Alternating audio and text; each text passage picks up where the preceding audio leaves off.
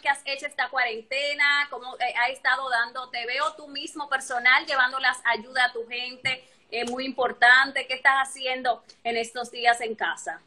Bueno, tú sabes por la, la, la, necesidad que estamos pasando en el país, no hay, no hay, hay poca gente está trabajando y quería llevar a esos batalles, quería llevar esa, esa, esa, esas raciones de comida y muchas personas, varias personas me han dicho, cuídate, y yo entiendo la pero por eso me pongo el traje, me pongo los guantes, la mascarilla, la gorra, y tú sabes lo que pasa, yo no, no tengo ningún tipo de contacto con las personas, simplemente, simplemente le paso la comida, pero es que me encanta ver la sonrisa que, que como yo, la sonrisa, cada vez que te dicen que Dios te bendiga, que seamos lo mejor, o sea, son, son las pequeñas cosas que a mí me llenan, tú sabes, no es lo mismo si yo la, si yo la mando, ah, mira, te mandaron, la, ah, yo dieron una gracia muy contento, pero tú no tienes, tú no te llevas esa imagen contigo de cómo estaban ellos y todo. O sea, que tú lo haces para sentir ese calor, para, para recibir esas bendiciones de ellos mismos.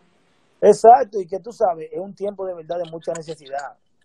Mira, yo fui a un bateo hoy, que eso es increíble, o sea, cuando llegamos, el de la Junta de Vecinos, porque nosotros hacemos, hablamos con la Junta de Vecinos, y, él nos va, va eh, mostrando las casas, y él nos dijo, óyeme, es increíble, la, la primera persona que viene aquí, aquí no ha venido nadie. O sea, son las cosas que, que, a mí me llenan, el poder ayudar, llevar esa, esa, esa felicidad a cada hogar y por lo menos saber que en los próximos dos o tres o cuatro días tendrán que... O sea, eso es, hay más placer en dar que en recibir. Claro que sí, porque ¿qué, qué te digo? ¿Qué más que recibir con la bendición que me ha dado Dios de estar donde estoy hoy en día? Poder alcanzar todos los logros que he alcanzado y ser una persona reconocida en el mundo entero. Así es, eso, eso te lo han dado por gracia, realmente, más que todo, y eso se valora. Acá no vamos a empezar Ahí hay muchos prospectos, muchos jóvenes en estos momentos. Ahí había Pasón, Pasón, es duro ese. Pasón, activo, una historia increíble tiene ese muchacho. yo, yo me la tiré, yo me la tiré la historia, yo me la tiré. Te vimos ahí, tú eres fiel a él, parece que tú sigues ese pelotero, ¿te gusta? Claro, claro que sí, tú sabes, yo, yo venía escuchando de él, ¿me entiendes? Y había escuchado su historia, y ese día que te vi hablando con él, yo quería escuchar la historia, porque tú la escuchas de otra persona y no es lo mismo. Porque muchas personas habían dicho que el del colmado como que le negaba la comida. Pero sí me gustó cuando él dijo que le daba la comida. Y él le dijo, oye, no puedo completar mi pasola. Y él lo entendió, que debió ser así. Eso fue lo que más me conmovió. Sí. Porque yo en la mayoría de las personas tú le das todos los días y el día que no le das tú eres el malo. Eso es parte de la humanidad, así es. Y eso es así. No, su historia es muy bonita y muchas veces es bueno oírla del mismo protagonista. Ahora queremos escuchar la tuya. Quizás tu niñez, háblame un poquito, quizás tú no tuviste eh, que trabajar, si, no, si fue así, corrígeme. ¿Con quién viviste? ¿Viviste con tus padres, eh, con tu madre, tu abuela? ¿Cómo fue tu niñez? Bueno, yo, yo tuve una niñez, yo creo que he sido toda la vida bendecido por Dios. No somos una, nunca fuimos una familia millonaria, pero tuvimos la suerte que mi papá, al jugar pelota o béisbol, al ganar en dólares, tú te ganas 10 dólares, aquí era un dineral. Rinde mucho. Y nosotros podíamos, como digo yo, podíamos meter los pies debajo de la mesa.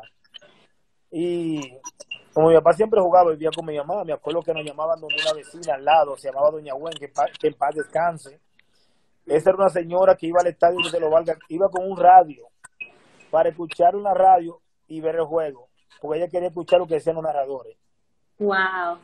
Y ella, ella me decía ñolito y siempre escuché, ñolito, te llama tu papá. O sea, siempre esa llamada. Y luego mi mamá se fue a Estados Unidos, mi papá a Taiwán, vive un tiempo con mi abuela, vive un tiempo, anduve como en tres casas. Primero me fui donde una tía, la tía adventista. Entonces la tía, tú sabes, cocinan los viernes a las 6 de la tarde, hasta el domingo a las 6 de la tarde, todo era calentado. ¿Y qué pasa? Era uno, yo lo que quería jugar pelota y no tenía como digo yo, no tenía esa vida, viví donde una tía. Primero llegando, antes de esa tía llegué donde otra. Ahí duré un par de meses, me fui donde esa tía. Tampoco me gustó y caí donde mi abuela, que había vivido, había vivido donde mi abuela, yo iba todos los fines de semana, antes de mi mamá irse. Iba donde mi abuela todos los fines de semana, porque con los dos tíos míos me iba al play a jugar. Y viví en esas tres casas, de verdad que le agradezco bastante. Siempre viví orgulloso porque como familia no tiene ningún, no tenía ninguna obligación. Me abrieron la puerta, me brindaban ese, ese cariño, ese amor y de verdad que siempre fiel a ellos. ¿Qué sería de la vida de nosotros sin las abuelas? Forman un papel Bueno, las más, más apoyadoras. en la vida de muchos que quizás su madre tienen y su padre que salir, los, los abuelos siempre están ahí dando todo el apoyo. Viviste con tu abuela parte de tu niñez, tu papá, tu mamá, no tuviste quizás esa gran necesidad, pero el béisbol viene a ti por tu papá o tú mismo desde pequeño fuiste dando esos indicios de que te iba a gustar la pelota. Yo diría que yo tenía ya eso por dentro, porque mi abuela me pichaba piedra. Yo te- por ahí está la foto, pero no la encuentro. Estoy loco por encontrarla. Mi abuela me pichaba con tres años. Y yo tengo el mismo swing de ahora, el pie levantado así mismo, para batear Wow. esa piedra. O sea, que naciste, tú naciste pelotero. ¿Y tu hijo se encamina por el mismo, por ahí mismo? Re- Recuerda que mi mamá jugaba softball tercera base también. Ah, o sea, que eso en las venas. Bueno, mira, mi mamá jugando tercera base, ella quiso correr a primera, dio un batazo y sintió un gran dolor en la columna, la llevaron al médico y cuando se dieron cuenta era embarazada que estaba.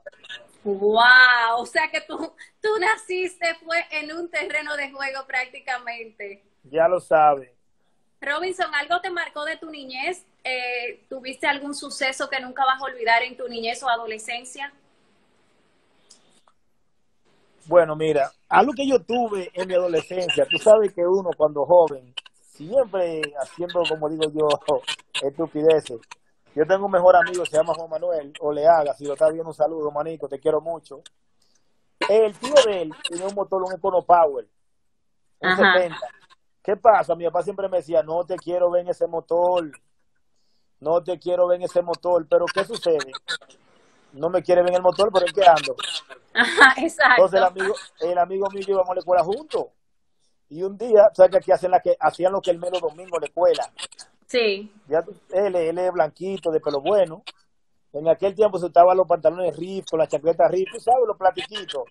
Sí. El hombre, una tía de fuera le mandó un dinero, el hombre emocionado, voy a comprar dije, una riff con la chancleta y el poloche de él. Y un poloche de esos Quicksilver. ¿Te acuerdas de los poloches Quicksilver? Sí, claro. él, Acabando. cuando íbamos a comprar, el hombre se fue en rojo en un semáforo y chocamos con un, con un carro. Él cayó por allá, se partió la quija aquí abajo. A mí me di aquí en el, en, en la, ahí adelante en la tibia. Mira, ya tú Wow. sabes. ¿Y qué edad tú papá- tenías? Yo tenía como 17 años, 16. Wow. ¿Y a qué edad tú firmaste? Yo firmé a los 18 años. Firmaste a los 18 años, o sea que tú estabas a punto, ahí yo me imagino, casi perdiendo No, firma cuando mi eso. pa- oye, cuando yo llego a mi pa- que mi papá le han dicho, llego a mi casa cojeando. El pantalón se le hizo como una seta y, oye, era cojeando. Me dijo, mira, yo no te voy a decir la mala palabra por aquí. Pero ese hombre me tiró un pecozón. Me dijo, yo te lo dije. Ay, mi, ese yo te lo dije que es terrible. Ya, y le digo- y le- escucharlo. oye, ya tú sabes. Ya no todo eso, no lo quiero de aquí. Pero después a mi papá se le pasó. Ya tú ¿Y qué tú, sabes, le, mira. Eso, qué tú les recomiendas después de vivir eso en tu adolescencia a muchos jóvenes que inventan mucho? Eh, con, con- Mira. con camino a firma o, con un futuro prometedor. es que yo te, yo te voy a explicar algo. ¿eh? Hay dos puntos de vista que yo tengo. Porque no le podemos decir a un muchacho, no te montes en un motor. Porque vamos a ver qué calidad de vida viven. Si no tienen que andar en un carro, tú tienes que moverte en un motoconcho o en una pasola, porque cuando tú estás en ese momento, casi nadie cree en ti.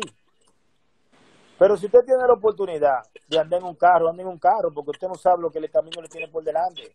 Entonces, si usted filmó para ser una gran superestrella, usted no sabe lo que Dios le tiene bueno en el camino, entonces no lo dañe, no lo arruine. O sea, que hay que cuidarse, independientemente de Claro, todo. claro que Hasta, sí. hablemos de los estudios para ti. Me imagino que tu mamá y tu papá te inculcaron siempre a estudiar. ¿Hasta qué curso llegaste? ¿Te han servido esos estudios? Claro, claro que sí. Mira, algo que mi papá siempre decía que había que sacar, estudiar, estudiar. ¿Me entiendes? Era la- mi papá decía, buena nota, yo te traigo. Y a que me ven el verano, si no, allá te queda. Ya tú sabes que eso era un empujón. Uno Claro. se motivaba y, y hacía todo. Cuando había mala nota, ya tú sabes, enganchale la, la bicicleta ahí arriba, una goma. ¿Y hasta, Era un hasta- que llegue la nota. ¿Y hasta qué curso llegaste? Bueno, mira, yo llegué hasta cuarto bachillerato. A mí me firmaron en enero. Wow. ¿Entiendes? A mí me firmaron en enero. Pero ¿qué pasa? Me dijeron, ¿tú quieres terminar o jugar? Digo, ¿terminé Yo tengo 18 años, si yo me quedo un año más, estoy, estoy frito. Pero ahora, y ahora lo voy a hacer, me averigüé, y lo voy a hacer online, el cuarto. O sea que tú quieres seguir estudiando, ¿tienes planes de hacer alguna carrera? ¿Quieres especializarte en algo que vas a terminar el bachiller? De verdad que sí, me gustaría. Yo, yo siempre he dicho, uno no sabe lo que le tiene el futuro, la vida por delante. Me gustaría, ya que gracias a que me dio la oportunidad de hacer dinero en Grande Liga, me gustaría estudiar contabilidad. Contabilidad para tú mismo manejar tus negocios. Ya lo sabes. o sea que después del retiro, no, no te visualizas tú eh, trabajando en, en, la gerencia, más bien te visualizas como un empresario. ¿Cómo te visualizas? Bueno, mira, con, con el conocimiento que yo tengo del béisbol, claro, me gustaría ejecutarlo, pero a la misma vez yo puedo hacer un curso, ¿me entiendes? Pero no me gustaría estar en el terreno, me gustaría ser un gerente o un advisor, un consejero o un o un dueño de equipo, pero no, de verdad mi meta no está grabada. Si es para yo elegir, no puedo decir que nunca lo haría. Si es para yo elegir, yo elegiría en las oficinas arriba. O sea, que tú estás abierto a cualquier oportunidad en esa área, porque te has preparado también, porque has tenido el, la preparación. Robinson, hablemos entonces de las ligas menores. Tú te propusiste, tú sabes que hay muchos eh, muchachos que les llegan los 18 años y no han firmado y se desesperan. O sea, dicen, bueno, me va a coger el, ahora y ya y se desilusionan mucho también. Mira algo, Karen. Yo digo que, que todo, todo, Dios te pone la cosa como en cada lugar. Porque nos, yo, por ejemplo, cuando yo tenía 18 años, yo decía, 10 años, no me van a firmar. Pero yo seguía pasado todos los días. Gracias a Dios, mi papá siempre me empujaba, me empujaba. Vamos a practicar. Yo, o yo siempre tenía ánimo de practicar, pero en el play me ponía a hacer cosas extra. Un sinnúmero de cosas. Y, y gracias a Dios se dio la oportunidad de poder filmar. Y yo me acuerdo, yo le dije a mi papá, en cuatro años yo voy para Grande Liga. Y gracias a Dios así fue. O sea, yo siempre tuve esa fe, esa dedicación. Y cuando tú perseveras, triunfa. Porque lo que se ve con muchos jóvenes, y me acuerdo le dan mucho dinero, por ejemplo, ya se siente satisfecho. A mí no me importa que si tú eres un joven y te dan dos, tres, cinco millones, te quieres comprar un vehículo, tienes que hacerlo. Porque al final del día, tú no puedes andar mendigando en un motor por querer ahorrar el dinero, querer que no, que yo no. No, si usted no tiene la edad, su papá se puede comprar un buen vehículo y moverlo a usted. ¿Me entiende? Pero usted tiene que andar, cuidar su cuerpo. Tú tienes que cuidarte, porque cualquier choque, lo que sea, se va todo al suelo. Entonces, muchos cuando dan los millones se sienten ya no, por dos millones a mí que me van a llamar a mi obligado. No, no es así. ¿Me entiendes? Y eso es. Quizás en el momento que tú firmaste, ¿por cuánto firmaste? Bueno, mira, el bono mío fue por 150 con todo y lo de los estudios, o sea, fue todo ese completo. Todavía yo tengo dinero para estudiar también. Pero eso fue mucho dinero en ese en ese momento. Bueno, para 18 años te voy a decir la verdad. sí, es sorprendente. Claro que sí, con 18 años. ¿Y qué tú hiciste con ese dinero? ¿Qué, que tus padres qué hicieron? Me imagino que ellos Yo le di, le di una parte a mi papá y a mi mamá, otro la puse a plazo fijo, y el plazo fijo mío nada más me duró como un año en el banco, dos años. ¿Y por qué? porque mi abuela se enfermó, le dio un dengue hemorrágico, o sea, un dengue, ya tú sabes, no tenía fuerza en la coyuntura, había que con sonda para poder orinar, para pararse tenían que levantar, ya tú sabes, entre tres gente, entonces yo le dije a mi mamá, bueno, ahí está mi ahorro, utilízalo, porque queremos que abuela se salve. Y me acuerdo como hoy, cobrando en la estrella 60 mil pesos mensual. Cada vez que yo cobraba quincenal, yo cogía, le daba 20 a mi mamá y cogía 10 para mí, para que pagarlo de mi abuela.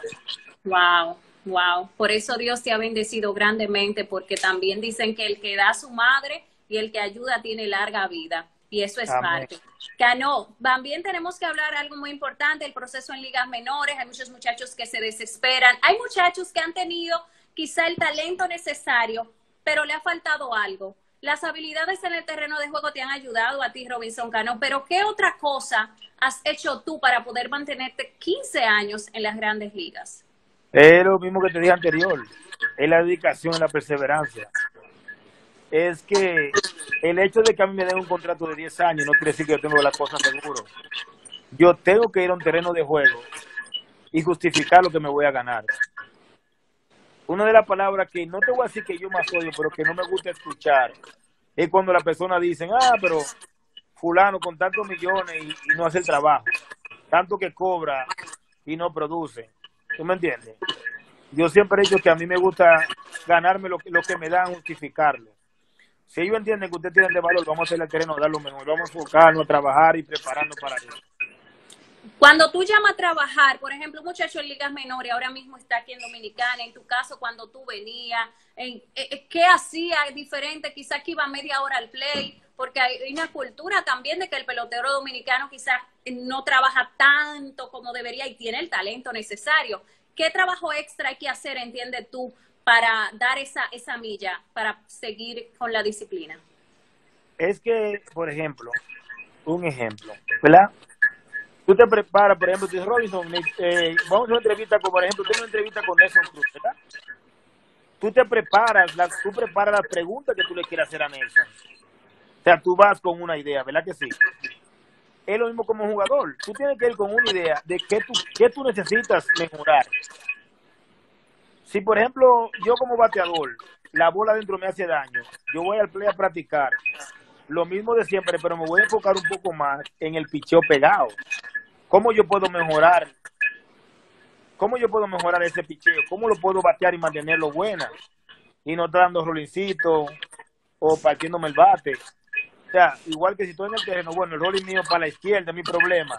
Yo tengo que enfocarme más. Si cojo 30 rolling, cojo 10 para la izquierda y cojo 20 para el otro lado. Hasta que yo mejore, pero me enfoco en lo que es todo el cuerpo. Y eso es así, o sea, toda la dedicación que tú le pongas, qué tanto tú quieres las cosas. Aparte de la dedicación en el terreno, ¿tú miras videos? ¿Tú recomiendas si le toca enfrentarse a, un lanzador que le ha dado problemas, tú usas esa técnica de mirarlo, de, estudiarlo o simplemente lo que venga en el terreno? Bueno, mira, en mi tiempo cuando yo crecí no había ningún video, no había nada.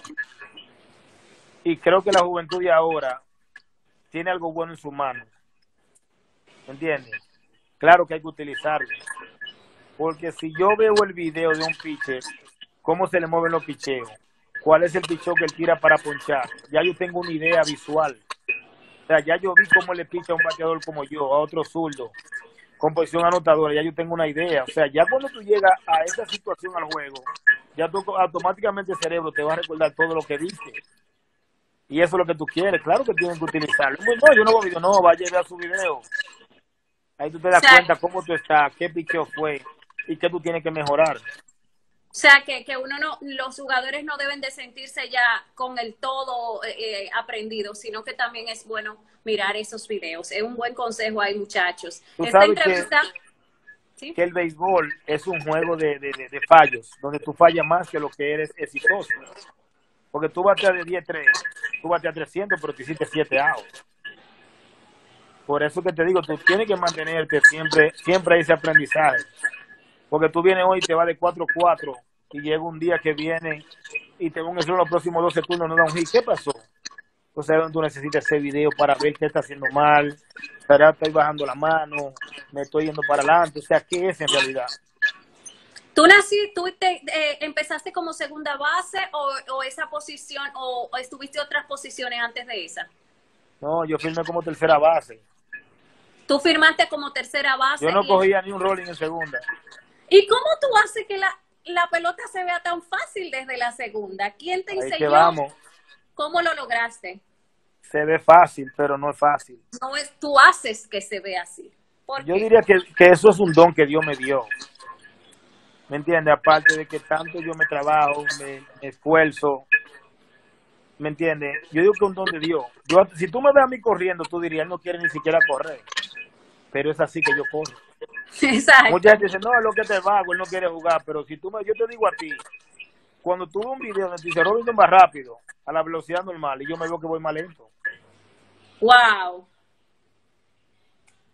Entonces, ahí cómo lo logras eh, desarrollarte, quién te ha enseñado esa posición, cómo tú lograste, porque es que es que es increíble. Yo diría que fue algo natural, o sea, yo siempre, gracias a Dios, humildemente, he tenido buena mano y creo como que cuando tú trabajas, le pone empeño. Yo siempre vengo a mi casa y a paro rolling, hago doble play. Yo lo que les recomiendo casi a los muchachos jóvenes, tanto como le digo a mi hermano, cuando tú practicas tienes que jugar la cosa, hacer la cosa como si estuvieras relajando, relajarte, relájate.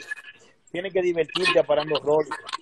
Mucha gente se pone muy tenso, pone la cosa muy personal. No es una práctica. Haga eso cuando llegue el juego y cuando llegue el juego tú no lo vas a hacer. ¿Por qué? Porque ya, ya,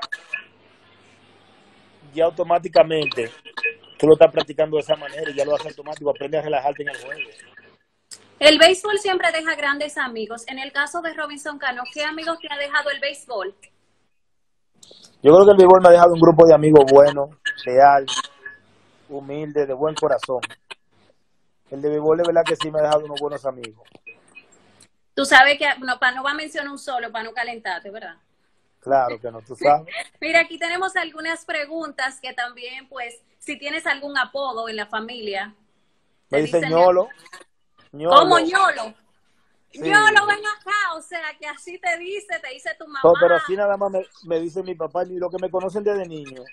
Por ejemplo, tú me voceas ñolo y yo voy a saber que tú no me conoces desde niño.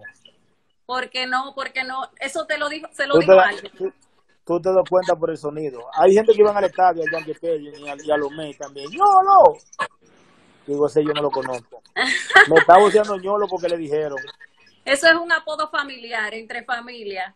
Seguimos aquí eh, desde que, bueno, ya esa sí la tenemos, que empezaste gustándote el béisbol. Las si practicas algún otro deporte en tus tiempos libres. No, no, que nosotros no podemos, está en el contrato. Entonces, si me lesiono,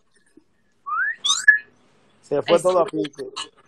Tomen nota ahí. ¿Qué hobby haces? ¿qué es lo que es ñolo? ¿Qué hobby haces? Eh, ¿Cómo te, distraes? ¿Qué, ¿Qué, tienes para hacer aparte del béisbol?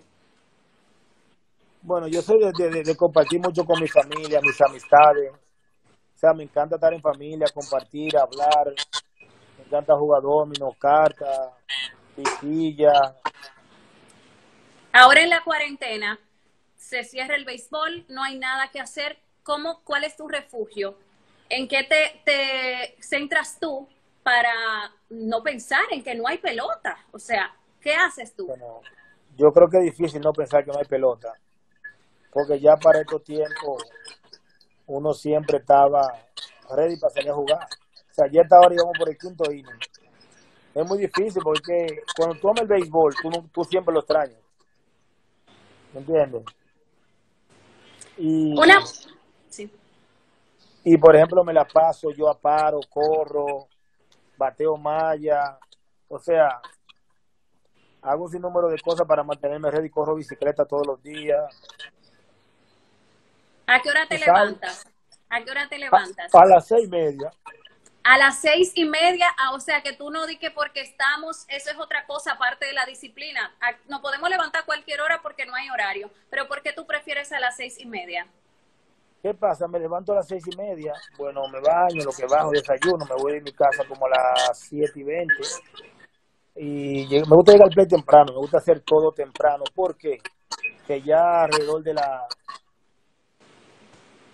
Ha sido mi rutina siempre, que ya alrededor de las once diez y media más tardar, ya yo te todo terminado. O sea, que ya tú tienes eso como rutina y no lo cambias. No, no lo cambio. Hay más preguntas por aquí. Dice que quién te ha servido como influencia eh, en la pelota, a quién tú has seguido notablemente. Bueno, siempre fui un gran mirador de, de muchos jugadores, de muchos, muchos. Pero mi jugador favorito era Bernie Williams. ¿Siempre lo has admirado? ¿Has mirado su forma de juego? ¿Todo? Lo que era Benny Williams, Benny Williams y Sammy Sosa. Tú sabes que en los tiempos del 98, Sammy Sosa con eso de Maguire, y siendo de San Pedro, ya tú sabes. No solamente a ti inspiró, me imagino que a muchos jugadores para eso. Aquí en cuanto a las preferencias musicales que tenemos, eh, que te gusta, Depende del momento. Yo oigo de todo. No oigo ni, ni rock ni metálico. Después yo oigo de todo. O sea, que tú te una bachatica, o me, te gusta escuchar música, ver películas, eh, de esas, de eso, ¿qué, ¿qué es lo que más te gusta? Yo soy más de música que de televisión. Oh, ok, te gusta más escuchar la música. Hay otra cosa por aquí que preguntan que qué te gusta comer, imagínate, que, que, que tú eres de buen comer, pero ¿cuál es tu preferencia en comida? Bueno, imagínate. De, me encanta, además soy de San Pedro, el Domplín, la yaniqueca, o sea, todo lo que es de mi pueblo, mi, la bandera, arroz dominicano, arroz, habichuela y carne. ¿Y cómo tú mantienes? Pero eso me imagino que es, un, o tú mantienes ese, ese nivel de comida regularmente. No, no, no, no, no, ya me la como un mal día, ya no, porque imagínate, ya te da, ya después de cierto tiempo en el béisbol tú tienes que mantenerte saludable. O sea, yo lo que no llevo una dieta, pero como saludable. Trato de comer lo más saludable que pueda. Hablando de dieta, el viernes vamos a tener con nosotros a Juan Carlos Simón, tú lo conoces perfectamente. Claro, claro. Muy te daba entrenamiento. Y Juan, Juan, Carlos Simón manda a comer arroz de noche, ¿tú sabías? Claro, pues es que el arroz no engorda. Así es. ¿Y él de Juan Carlos Simón qué aprendiste? ¿Qué, qué clases te dio él? ¿Qué, ¿Qué trabajabas con él? Bueno, aprendí bastante, de verdad que si llega a ver esto o lo está viendo, un gran saludo, siempre tendrá mi respeto y mi admiración. Tú sabes que él, aparte, aparte de todo lo que aprendí con él en la pesa, Juan Carlos un gran ser humano y un tremendo consejero. ¿Me entiendes? Es una persona que es muy buena tener al lado como amigo, porque da unos consejos, mira, increíble. Así como tú lo ves que él te habla de la, te habla de la anatomía, o te habla de los tipos de carne que tiene que comer. Oye, así como persona te da unos consejos que es increíble. Así es, y, oye, y también un saludo a los muchachos allá que trabajan, que están con él en el gimnasio, a todos, que siempre me dieron un buen trato. De verdad que, que muchas gracias. Bueno, pues este conversatorio el viernes va a estar muy bueno con él porque yo sé que él tiene mucho que enseñarle a los jóvenes. Mira, mira, mira, Abelino, Abelino, di que quítate la gorra, déjame ver el tinte, lo que tengo lo mismo. A ver, mire ese tinte. ahí, está bonito. ¿Te gusta cambiar de look? No, lo que pasa es que ah, yo me lo di, ese tinte yo me lo di hace como que se me vaya, el rubio. ¿Asesora? ¿Tú tienes alguien que te asesora en ropa y eso? Sí, claro, yo tengo alguien que me asesora, claro. Ah, no, pero tú, o sea, que tú te dejas llevar. Tú no dices, no, yo no, búsquenmelo ustedes. Claro, pues yo, es que yo lo que sé es jugar pelota. Perfecto. O sea, que no está mal eso. Robinson, seguimos aquí. ¿Alguna anécdota que tú recuerdes cuando estabas en ligas menores, ese proceso que sabemos que no es tan fácil eh, y quizás en tu tiempo era peor, ¿verdad? Que ahora. Eh, ¿Alguna anécdota? ¿Tuviste que dormir en el piso? ¿Tuviste que dormir en un... ¿Dónde? en la familia? Bueno, mira, donde yo dormí en el piso era en la guagua. Cuando esos viajes eran de 14, 15 horas. O sea, nadie aguanta un asiento. O sea, yo no juego, yo no, no me gusta, o sea, no juego, no jugaba cartas ni nada de eso.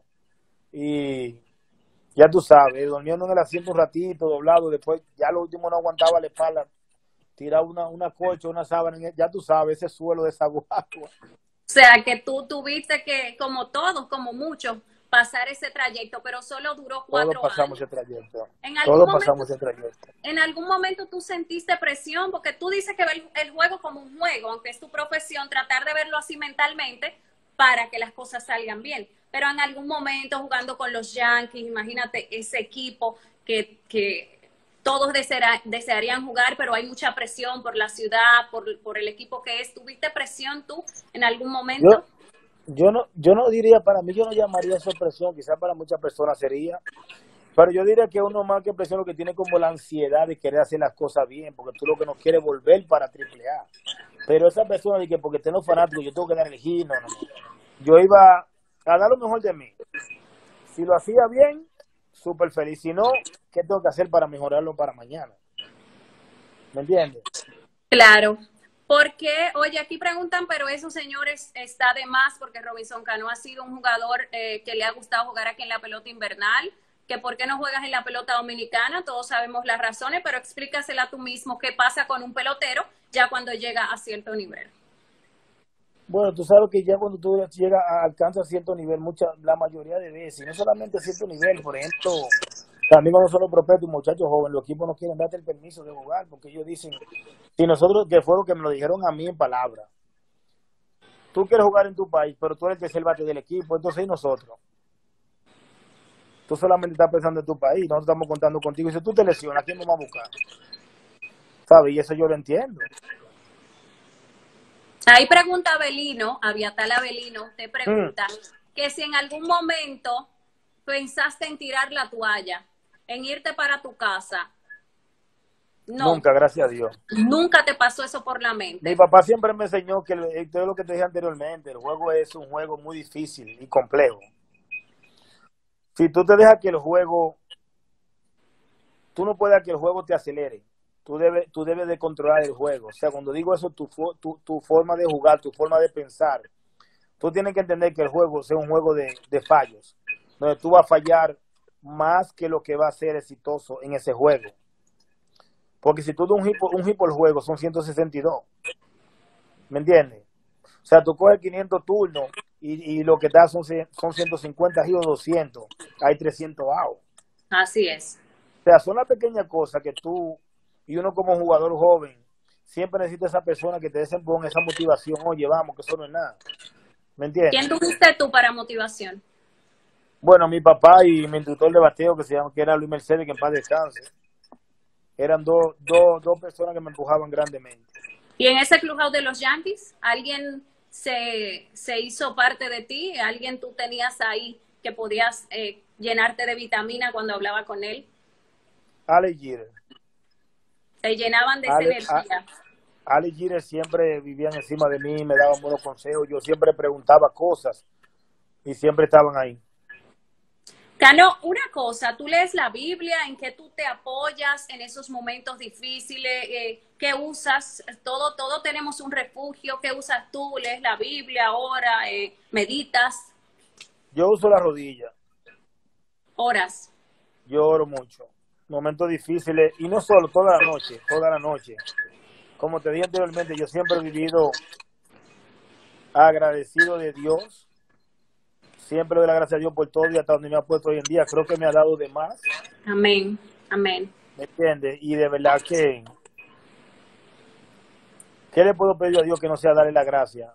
Yo creo que ya lo que Dios me dé de aquí en adelante, eso es añadidura. O sea, que la oración es parte de tu, de tu, de tu estilo de vida. Mira, si tú te fijas, me ha visto jugar o ha ido al juego antes de empezar, cuando estamos en el terreno, que están cantando el himno, yo siempre tengo la gorra en el pecho y la cabeza para abajo, orando que yo estoy. Amén. Ah, mira, eso es un buen punto. Siempre hay rituales antes del juego. ¿Qué hace Robinson Cano antes de salir al terreno? Ya sabemos lo de, lo de orar en el mismo terreno, pero antes de ahí, ¿tienes alguna rutina previa? No, simplemente cambiarte, vestirte y vamos al mambo. Exactamente, no tengo, no tengo ninguna. Si tú tendrías que darle la bola tuya, segunda base, a uno de los jóvenes de ahora, ¿a quién se la darías? ¿A un segunda base? Sí. que por ahí vienen unos segunda base un Sí, hay uno, yo sé que tú tienes que tener uno que tú dices, wow, wow. Es que mira, es que tú, tú tienes a Ramírez, tienes a Marte, o sea, esos dos son dos toletes, ¿me entiendes? tú no te puedes equivocar con ninguno de los dos. Con Marte tuve la oportunidad de jugar en Seattle, que Marte era su Y ahora está en segundo, o sea, todos sabemos lo que ha hecho, los palos que ha dado, lo que va a hacer y lo que le falta por hacer. Bendiciones para él, igual que Ramírez. Ramírez, tú sabes que juega tercera, juega segunda. Y es dos toletes, tú no te puedes equivocar con ninguno de los dos. ¿Qué ha sacrificado por estar en el béisbol Robinson Cano?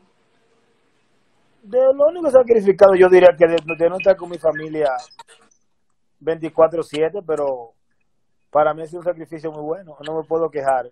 No, no, imagínate, nadie se podría quejar de eso. Tú tienes dos niños, ¿verdad? Tienes un varón, está jugando, lo estás enseñando, le gusta el béisbol. Le, le encanta el béisbol. Tengo un varón de nueve y la hembra de tres. Wow, wow, ya están grandecitos. Qué bueno, Robinson, tenerte aquí con nosotros. Muchos muchachos deseaban tenerte aquí en la Academia La Javilla. Vamos a ver más preguntas. Dice, ¿qué pitcher más difícil para ti? Esa nunca se queda. ¿Cuál ha sido el pitcher más difícil que has enfrentado eh, en tu carrera? Yo diría que Pedro Martínez para mí. Ha sido el más difícil. Ha sido el más difícil. Le cogí 15 turnos y no le di ni un hit. Imagínate, te, pre, te Y mentalmente. mira, y mira que no era Pedro en su juventud. Y estaba bien difícil. Imagínate a Pedro en su juventud. Ahí hablan del clásico, Robinson Cano es un abanderado del país, señores, lo ha dicho ya en muchas ocasiones que sí, que va a representar el país siempre y cuando esté dentro de sus posibilidades y, me, y el invierno aquí. Entonces, me imagino que para esta temporada te darían un chance por, por, por lo corta que sería o no se sabe, el futuro es incierto, pero si te toca, tú, tú lo harías unos turnos aquí. En verdad no, todavía no sé, no lo he pensado. O sea que la mentalidad ahora mismo está en que empiece la Grande Liga. Queremos jugar, pero vamos a ver qué pasa. No lo descarto, pero veremos qué pasa. ¿Tu estadio favorito de Grandes Ligas? Uf. Que tú dices, bueno, ahí cuando llego ahí me siento No, es que, ¿qué te digo? Que los estadios me gustan, hay muchos que me encantan, me encantan muchos estadios que son bonitos y que como bateador a uno le encanta el estadio donde la bola corra por todo, por todo el estadio, ¿me entiendes? Aquí tenemos más preguntas. Este live es para, para ellos. Este, aquí hay una. ¿Cuál fue el perreo? Yo no, no, no sé, no me he fijado verte perrear, pero más emocionante que tú has hecho. Un palo que emocionante. Que tú ese día se te fue la cordura. El día que, el jorrón que le di a Italia en el clásico, Ay, ay, ay. Caminé como hasta, la, como hasta la mitad. Wow, ahí se te olvidó todo. El, el tener ese. Pero en verdad, en verdad no era por el perreo, sino era que la emoción del juego. Porque así que jugamos en el clásico. A veces tú sabes, ahí dice, ¿cómo te llevas con Amés Rosario? Mi hermanito, ese es mío personal, como hermano. les da algunos consejos, él te lo pide, eh, ¿cómo, ¿cómo se manejan ahí? De las dos maneras, él me lo pide, yo le doy un consejo si veo algo que él puede mejorar y todo eso.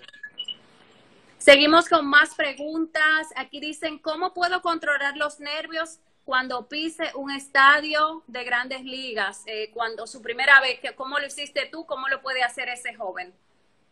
Mira, lo primero que tú tienes que aprender algo es olvidarte de todo lo que está detrás de ti.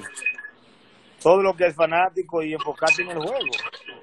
O sea, tú tienes que olvidarte de esa bulla y ir a hacer tu trabajo. El momento más difícil en tu carrera. Momento que, que tú te acuerdas y, y, y te afliges. Por aquí pregunta. Si supiera que ninguno. No, no, no. Para ti el béisbol ha sido... Es como te dije, Dios me ha dado a mí demasiado.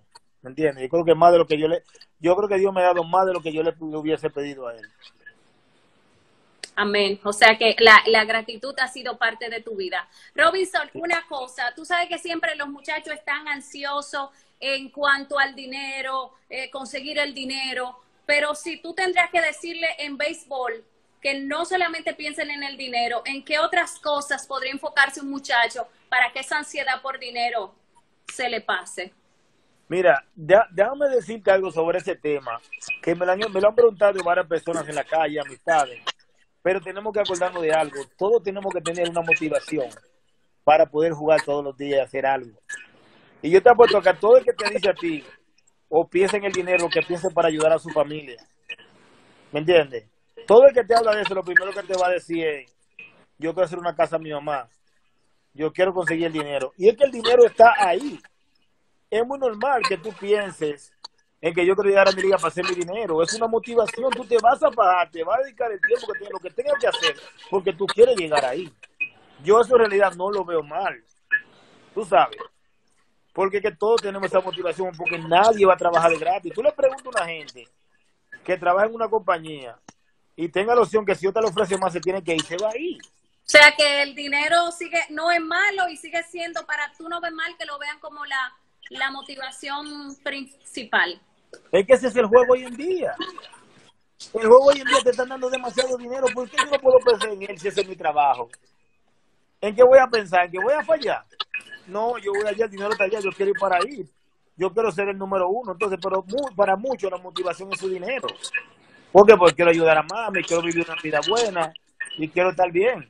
Mira, saludos. Hey, Fleming, mi hermano, Fleming va en la casa. Mira, ahí está el presidente de la Academia La Javilla, John Carmona, que pregunta que si vas para el clásico. Con Dios delante que sí, John Carmona, ya nos veremos y atrás ese campeonato para Dominicano. Así es, con mucha fe, tú serías una de las bujías inspiradoras en ese equipo para los nuevos talentos. Eh, ¿Tú crees eh, que aquí dice una pregunta muy interesante que la voy a poner de otra forma? Me la preguntaron ¿Alguien ha dudado de ti? ¿Alguien no ha confiado en tu talento, en tu carrera? ¿Alguien te hizo sentir mal, te dijo una palabra o te dijo, no, tú no vas para parte? ¿Te ha pasado eso? ¿Cómo te ha manejado con esa persona? ¿Qué te digo? Sí han visto personas, no me lo han dicho a mí directamente, pero sí me ha llegado que han dicho, ah, ese no, ese va a ser muy vago. Mira cómo coge los Rolling, ese no va a llegar a Grande Liga pero merece el buen nombre, tú sabes. No, no, claro. En, fue una persona en esta liga que fue manager, fue mi manager en esta liga. ¿Te sentiste mal con eso cuando lo escuchaste? Claro, porque tú lo que menos quieres con una gente es echándote una sala atrás de que tú no vas a ser grande liga, porque dime, ¿por qué? Si tú llegaste a ser manager, dime, ¿tú no naciste siendo manager? ¿Y qué consejo tú le darías a un muchacho que, que le, le, han dicho, usted no da, usted suelte eso, que usted no es la pelota? Y el muchacho no quiere soltarlo yo, yo fuera, yo dijera, como dice mi instructor, Freddy Tiburcio, habló Dios. ¿Por qué importa lo que diga otra gente? No le da caso a lo que digan. La gente siempre va a aparecer uno, no, tú no vas a llegar, tú no puedes. Mentira, usted no es Dios. Entonces, fíjate, todas toda lo que son las personas que llegan a ser bien exitosas en cualquier deporte, que llegan a ser superestrellas, todos tenemos algo, algo del pasado que sirvió como motivación. Todos. Nunca deja que nadie te diga no puede, que eso es mentira. Dígale a sí mismo, habló, usted no es Dios. Y sigue hacia adelante. A veces la presión en cuanto a, la prensa, los comentarios de muchos jugadores, que tú dices, ¿cómo, cómo tú no te, te vuelves loco? ¿Qué hace Cano para controlar eso también? Porque hay muchos comentarios que vienen de afuera, del ruido, que te llama un familiar. ¿Tú ¿cómo, ¿Cómo tú manejas esa situación? Acuérdate que el, el, el periodista es para eso que está el periodista no está para, para hablar bien de ti todos los días. Mira, mira algo. ¿Qué sucede? Ya todo el mundo sabe que, por ejemplo, un pelotero como Mike ya todo el mundo sabe que Mike Trout es el mejor jugador de la Grande Liga. Ya el fanático no quiere escuchar, Mike la sacó, ya la gente está acostumbrada a eso. Mike dio el hit para ganar. Ah, no, ese Mike Trout el mejor, olvídate, eso no es raro. La gente lo que quiere escuchar, lo negativo cosas diferentes. ¿Me entiendes? Eso es lo que, eso es lo que periodistas buscan, vender. Entonces, eso es un trabajo. Si a mí no me va bien y tú, y tú me estás criticando, usted tiene razón, no me está yendo bien. a mí lo que no me gusta cuando hablan mentira. Por eso tú no te molestas. Claro que no, porque cada quien tiene que hacer su trabajo. Y todos los periodistas tienen un jefe. Necesito vender el periódico. Hay que hacer noticias. Tráeme. Bueno, y ya casi terminando este live por aquí, también otra pregunta que dejaron aquí en el DL es acerca de la Liga Dominicana. Dicen que cuál ha sido tu jugador favorito en la historia de la pelota dominicana. Mi jugador favorito. En la pelota que tú has seguido. yo, era, yo era un gran fanático de mi instructor de bateo que en paz descanse, mi Mercedes. Quien ganó título de bateo, fue el capitán de las estrellas por muchos años yo diría que, él.